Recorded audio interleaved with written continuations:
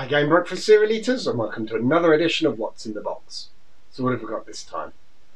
Well, this is from 2002 and it's Weetabix Weetos Looney Tunes Free Riders.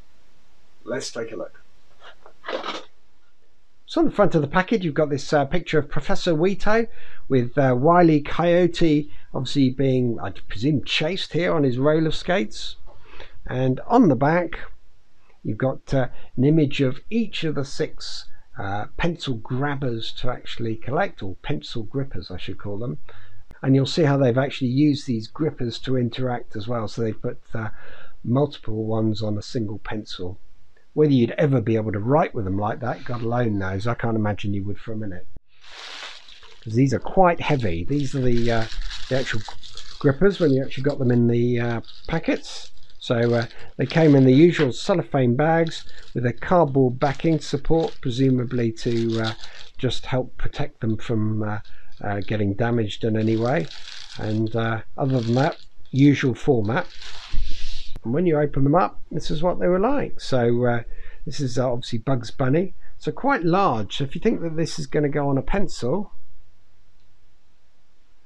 um, doesn't really go on particularly well on this pencil but anyway uh, you'll see that it uh, makes it quite heavy so I can't imagine many people using these however the good thing is they've got this really nice solid base so you could uh, obviously use them for display so that was Bugs.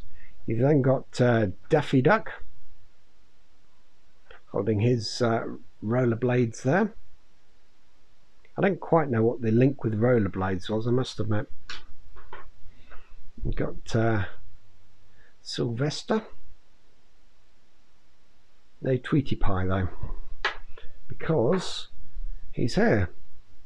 Totally disproportionate size compared to Sylvester. But you'll see him obviously going down the ramp. Is uh, Wile Coyote again, this time with a uh, rocket on his back as well as his uh, rollerblades. And again, I like the fact that they've uh, made the sort of rocket fumes uh, the sort of base for this one. So uh, really nicely designed. And finally, you've got Tasmanian Devil sitting on a wall.